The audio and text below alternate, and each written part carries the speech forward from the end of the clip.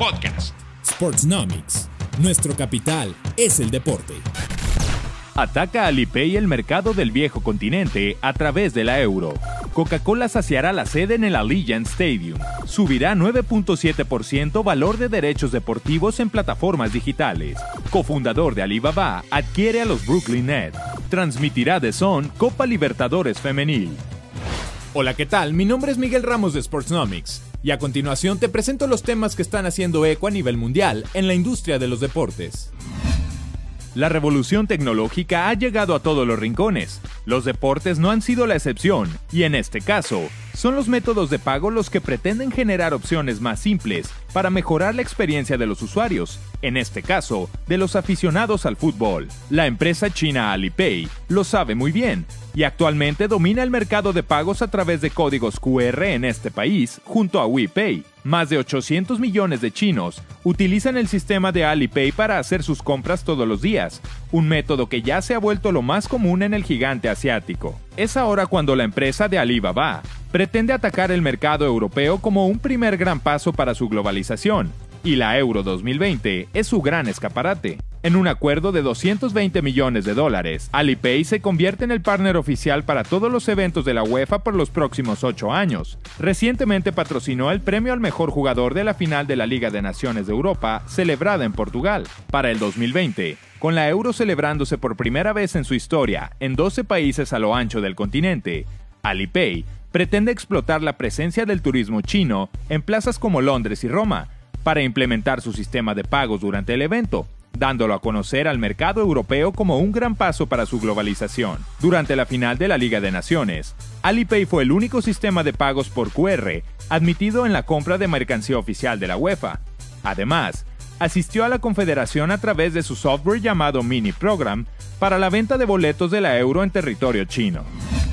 La nueva gran novedad del espectáculo deportivo en Estados Unidos ya tiene una bebida elegida para sus aficionados. Nos referimos al acuerdo que el nuevo estadio de los Raiders en Las Vegas, que recientemente adoptó el nombre de Allegiant Stadium, firmó con el gigante refresquero norteamericano y mundial, Coca-Cola. La bebida favorita de los americanos tendrá la concesión exclusiva para ser vendida en el recinto para 65 mil espectadores. Esto tras haber firmado un acuerdo con la embotelladora de Nevada, Reyes Coca-Cola Bottling, mismo que fue orquestado por la agencia Legends, que se ha encargado de cerrar acuerdos para el inmueble, tales como el de sociedad firmado con Twitch y el mismísimo nombre del estadio, con la compañía aérea de bajo costo Allegiant. Así que si piensas asistir a uno de los múltiples eventos deportivos y musicales que tendrá este estadio a partir del 2020, ya sabes con qué podrás saciar tu sed.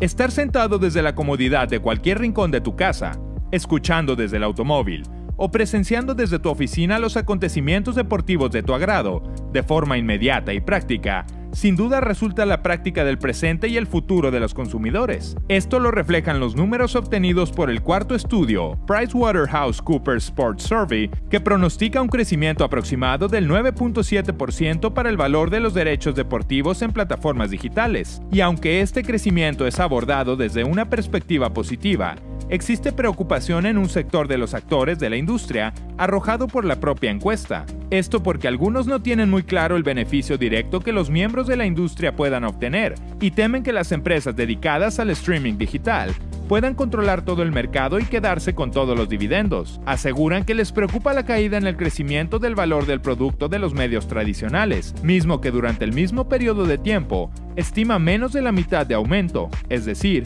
un 4.1%. Sin embargo, la percepción promedio del estudio se mantiene positiva, y muchos ven con buenos ojos un promedio de crecimiento anual durante los próximos 3 a 5 años, situado en 6.4%, que aunque está por debajo del 7.4 promedio obtenido los pasados 5 años, sigue siendo considerado un número prometedor.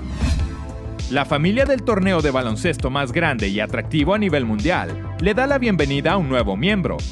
Esto después de que el Consejo de Dueños de la NBA aprobó la venta de los Brooklyn Nets al empresario taiwanés canadiense Joseph Tsai, quien es cofundador de Alibaba y además ya era accionista minoritario del equipo. El 51% de las acciones de la franquicia fue adquirido por 2.350 millones de dólares, en un movimiento que se hizo a mediados del mes de agosto y que hoy fue aprobado de manera unánime por la NBA. Sumado a la compra del equipo, Tsai también se hizo del Barclays Center, casa de los Nets, poniendo cifras totales de 3.400 millones de dólares a la operación.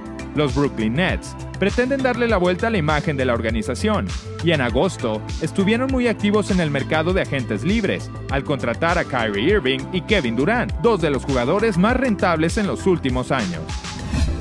El gigante del streaming mundial en este momento sigue llevándose todos los reflectores semana con semana en el mundo de la industria deportiva. Nos referimos a la empresa global de servicios OTT, The Sun, que continúan con su expansión dentro de Latinoamérica y en esta ocasión ha obtenido la licencia para transmitir la renovada Copa Libertadores Femenil a celebrarse del 11 al 27 de octubre en Quito, Ecuador.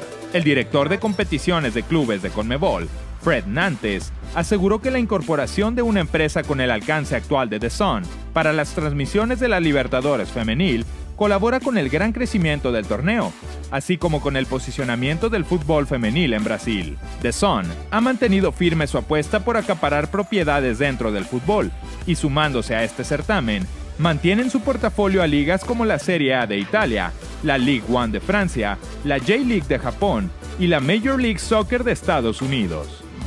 Gracias por sintonizarnos. Nos escuchamos en una próxima edición del podcast en Sportsnomics. Podcast. Sportsnomics. Nuestro capital es el deporte.